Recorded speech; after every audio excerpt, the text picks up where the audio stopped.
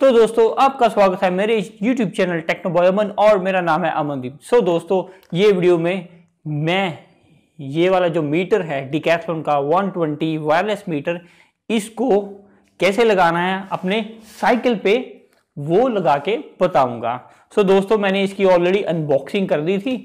तो अनबॉक्सिंग मैंने ऑलरेडी दिखा दिया बीच में क्या क्या अवेलेबल है। अगर आपने वो वीडियो नहीं देखी है तो वो वीडियो देख सकते हो। आपके जो पैक में से कोई चीज़ मिसिंग तो नहीं है, वो चीज़ कंफर्म कर सकते हो। तो मैं बिना किसी देरी के जल्दी से वीडियो शुरू करता हूँ और इसको इंस्टॉल करना स्टार्ट करते हैं। तो दोस्तों, इसमें आपको ओरिंग का पैक ठीक है? एक माउंट जिसे आप अपने मीटर को लगाओगे और एक सेंसर मिलेगा। और फाइनली एक आपको स्पीडोमीटर मिलेगा। और इसमें मैनुअल है। पिक्चर दिखा दिखा के समझाया गया है कैसे कैसे आपको इंस्टॉल करना है। आइए चलिए इसमें मोटी मोटी सी नज़र मार लेते हैं। ठीक है, जब आप इसको खोलेंगे, दिखाया गया है कैसे आप इसको इंस्टॉल करोगे। यहाँ पे इसके बेसिकली कंटेंट्स बताए गए हैं। क्या क्या कंटेंट्स हैं, कैसे रबर को सेंसर में लगाना है, कितनी ओरिंग्स हैं और कहाँ पे आपको इसको इंस्टॉल करना है। और इसमें एक मैग्नेट भी मिलती है, वो मैग्नेट भी लगानी होती है, कैसे यहाँ पे बताया गया है। और यहाँ पे बेसिकली माउंट को बताया गया है, कैसे आपने माउंट लगाना है, ठीक है? और कैसे यहाँ पे आपने सेंसर को लगाना है, और कैसे आप सेंसर का जो एंगल है उसको एडजस्ट कर सकते हो। यहाँ पे बेसिकली जो मैग्नेट है मैग्नेट कहाँ पे आनी चाहिए, वो बताई गई है, ये मार्क होता है सेंसर पे, इसके पास आनी चाहिए मैग्नेट और ये सेंसर को आप टिल्ट कर सकते हो। बेसिकली 5 एम mm का डिस्टेंस होने चाहिए। 5 एम mm से ज़्यादा नहीं होना चाहिए। Minimum 5 M mm maximum 5 M mm से अगर ज़्यादा हुआ तो आपका जो सेंसर है वो सेंस नहीं कर पाएगा। मैग्नेट आ रही है उसके पास के नहीं? तो ये बेसिकली ओवरव्यू है। इसमें क्या क्या चीज़ें बताई गई हैं। और बाकी यहाँ पे आपको बेसिकली गाइड किया गया है। कैसे आपने, ठीक है, अपने जो साइज़ है साइज़ और टायर का साइज़ और उसकी विथ है, उसके हिसाब से आपने इसके अंदर अपनी रीडिंग डालनी है, फिर आपको जो प्रॉपरली जो स्पीड है, वही दिखाएगा, गलत स्पीड नहीं दिखाएगा। ज़्यादातर लोग कंप्लेन करते हैं एक्यूरेसी नहीं है। ब्रदर एक्यूरेसी कैसी होगी? अगर आपने मीटर को ही गलत बता रखा है, मेरा साइकिल का साइज़ कौन सा है? व्हील का। तो प्रॉपरली वो ही साइज़ डालोगे तो ही आपको पता लगेगा। और अगर पीछे घुमाता हूँ, पीछे क्या है? पीछे बेसिकली वही सेटिंग का बताया गया है। आप इसमें कैसे मीटर या माइल्स रख सकते हो, कैसे इसकी सेटिंग कर सकते हो, वही चीज़ें बताई गई हैं। और ये सब लिखा है इसके मैनुअल में। तो बेसिक सा ओवरव्यू आपको बता दिया है। चलिए अब इसको पहले इंस्टॉल करते हैं और साथ के साथ फिर इसको सेट करते हैं। भाई, ये मैंने देखा है, एक बार आपने मैनुअल खोल ली ना, आपको पता नहीं चलेगा मैनुअल को वापस जैसे थी वैसे कैसे आना। हमेशा मैनुअल मोटी मोटी ही बंद होती है। आज मैं वीडियो अपने रूम के बाहर बना रहा हूँ तो आपको बाहर क्या थोड़ा शोर सुनाई देगा, उसके लिए I am very very sorry पहले एक्चुअली बारिश हो रही थी, मैंने तब सोचा था तो प्लान करता हूँ बनाने का बट बारिश अब रुक गई है। बारिश रुकने के बाद अभी जो सब्ज़ी वाले हैं, वो आना शुरू हो गए हैं, ठीक है? जो ट्रैफ़िक है, वो आने जाने लग पड़ा है। तो आवाज़ सुनने को आपको मिलेगी बाहर से। तो मैंने सारी की सारी चीज़ें निकाल ली है, ठीक है दोस्तों? अब मैं लूँगा इस सेंसर को। अब ये मैं फ़िल्म उतार दूँगा। अगर आप ऊपर रखना चाहो, रखे रह सकते हो। आपकी मर्ज़ी है। मैं इसको उतार देता हूँ। और ये रबर मिली है साथ में, ठीक है? इसको ऐसे यहाँ पे इसके अंदर फिट करना है, ठीक है? अब ये आपका जो फोक है, मान लो ये फोक है, वहाँ पे ऐसे फिट होगा। और सिंपल है, जो भी ओरिंग है, जो सबसे ज़्यादा टाइट है, उसके साथ आपने ऐसे बाँध देना है इसको। और इसको एंगल आपने ऐसे एडजस्ट कर सकते हो, जैसे कि मैनुअल में दिखाया था, इसको उसे लूज़ करके किस तरफ़ करना है, जिस तरफ़ आपका व्हील है, उसी तरफ़ इसको आपने करना है। अब मैं इसको लगाऊँगा लेफ़्ट साइड पे तो मैं ऐसे थोड़ा सा एंगल कर दूँगा। अभी फ़िलहाल के लिए बाकी हम जब फोक पे लगाऊँगा, तब देखते हैं। ये अपना बेसिकली माउंट है, ठीक है? जहाँ पे हम जो ये मीटर है, इसको फिट करेंगे।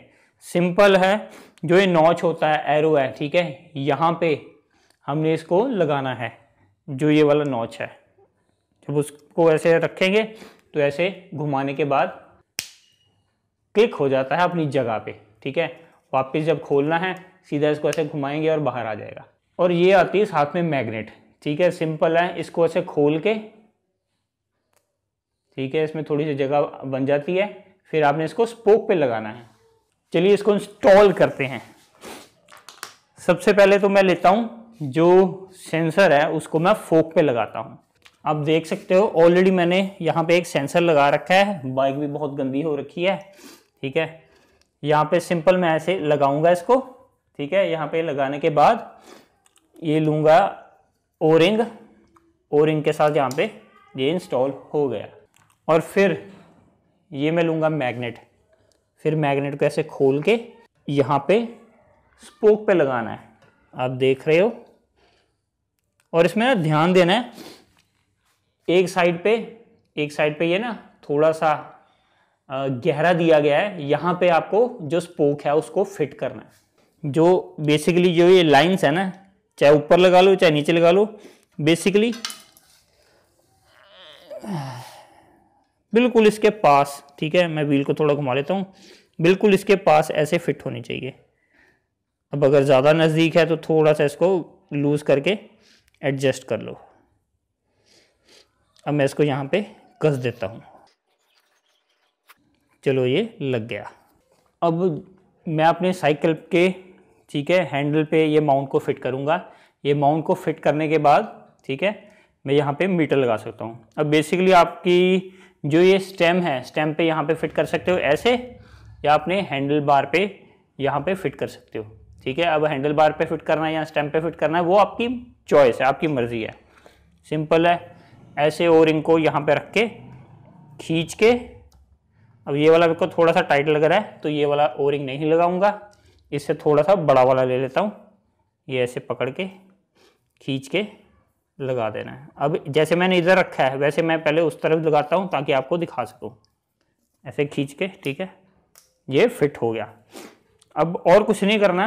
जब आपने ये मीटर सेट कर लिया, आप पहले भी लगा सकते हो, या मीटर पहले सेट करने के बाद, ठीक है? सिंपल है इसको, जब इंस्टॉल करना होता है, ये नॉच है। ये आप नॉच देख रहे हो, ये नॉच को जहाँ पे इसके अंदर एरो बना है, उसके साथ अलाइन करना है। अलाइन करने के बाद ऐसे, अगर ये माउंट घूमता है आपका, थोड़ा सा ऐसे पकड़ लो इसको, पकड़ के फिर इसमें लॉक कर दो। अब लॉक हो गया, जब खोलना है सिंपल ऐसे इसको घुमा के बाहर निकाल लो।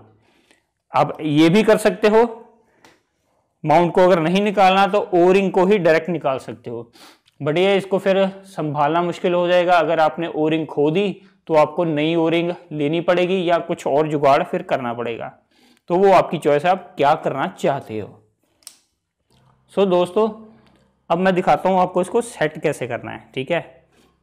अब ये मैंने इसके ऊपर फ़िल्म उतार दी। अब जब मैंने अनबॉक्सिंग बनाई थी तो मैंने आपको ये थोड़ा सा ऑन करके दिखा दिया था ठीक है? तो इसलिए भी ये ऑन है। जब इसको ऑफ़ करना होता है, तब ऐसे इसको दबाता हूँ, तब ये ऑफ़ हो जाता है। दबा के रखना होता है ऊपर वाले बटन को। बेसिकली ऊपर एक बटन है, ठीक है? नीचे दो बटन है। और अब ये ऑफ़ हो गया। अब इसको ऊपर से दबा के रखूँगा और ये ऑन हो जाएगा। हेलो बोल रहा है। हेलो बोलो इसको। नीचे कमेंट करो। हेलो हेलो सॉरी आज ठंड बहुत है, ठीक है? बहुत दिनों बाद यहाँ पे इतनी ठंड हुई है। तो मेरा थोड़ा रनिंग नोज़ था उसके लिए I am really very sorry अगर आपको अनोइंग लग रहा है बीच में ठीक है? ऊपर दोबारा बता देता हूँ ऊपर आता है टाइम नीचे आता है अभी स्पीड आ रही है। अगर आ, आगे क्लिक करोगे तो यहाँ पे देख रहे हो एवरेज स्पीड अब एवरेज स्पीड आना शुरू हो गया। तो ये एवरेज स्पीड है। नीचे जो दिखाएगी ऊपर टाइम ही आ रहा है। और फिर क्लिक करोगे फिर ये आना शुरू हो गया। ये है आपका ट्रिप डिस्टेंस और अब क्लिक किया, यहाँ पे आ गया टोटल ये है टोटल डिस्टेंस अब ये मीटर बिल्कुल न्यू है, बिल्कुल भी नहीं चला है। और इधर आ गया सेट अब यहाँ पे आपको क्या करना है? बेसिकली जैसे जब तो आप फ़र्स्ट टाइम ऑन करोगे, ये आपको जो घड़ी है, इसको सेट करना है व्हील सरकमफ्रेंस वो सब सेट करना है। अब हम वही चीज़ इसमें करेंगे। अब यहाँ पे अभी टाइम गलत है, ठीक है?